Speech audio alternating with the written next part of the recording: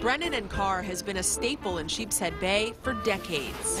Famous for its hot roast beef sandwiches, George Brennan and Edward Carr opened the restaurant on Nostrand Avenue in 1938. They opened it up as a small takeout place, added on a dining room, and it was a real neighborhood place, and it was the only place in the neighborhood. Current owner Edward Sullivan has been running the place since the late 70s after learning the ropes from his grandma Alice. I remember coming here many years with my grandmother as a little kid on Saturdays, helping her out, and then she'd send me home for some reason because I didn't do something right. Something the restaurant always gets right, the roast beef sandwich. The roast beef is thinly sliced to perfection. And each sandwich, including the bread, is dipped in au jus. This is the secret here to Brennan and Carr's. This is our, we call it our beef broth. This goes on the sandwich, either single dip, double dip, sometimes triple dip.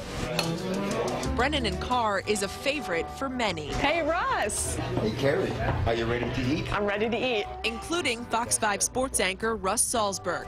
He grew up in the neighborhood and has been a regular since he was a kid.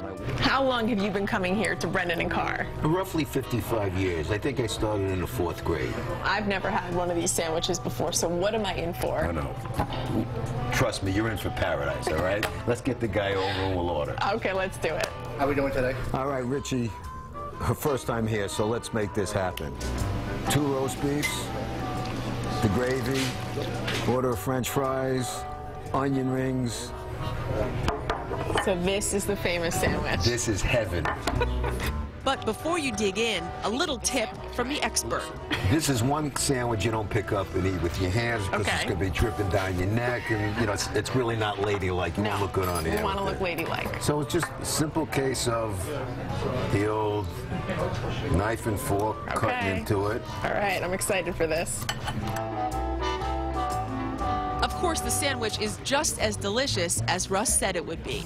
Russ, that is a good sandwich. So good, Russ now makes the trip to Brooklyn from New Jersey just for a taste. For him, it's a family tradition. My first grandson, I brought him here in, I think it was September, so he was 11 months at the time.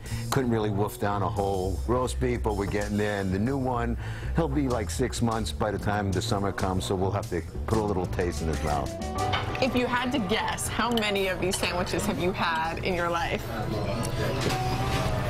If you line them up, it could take me from here to China. Really? You can't even count. If you had to guess.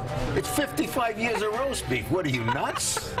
Since we're here all these years, we get to see people as little kids, and now we see them as grown adults with little kids. And while the neighborhood has changed, this place has stayed the same. The only problem that I ever have here is when to stop. Every time I come in, when I walk out, I'm always happier than when I came in. As for Sullivan, he says his grandma would be proud. She'd say we were doing something wrong. she, uh, you know, uh, she would enjoy to see it, you know, the success that we're still here, of course, after all these years. After all these years, still serving up roast beef sandwiches with a side of Brooklyn charm. For the dish, I'm Kerry Drew. That's not right. I love the roast beef and I love Russ. Amazing. Two Sheepshead Bay classics. Good stuff.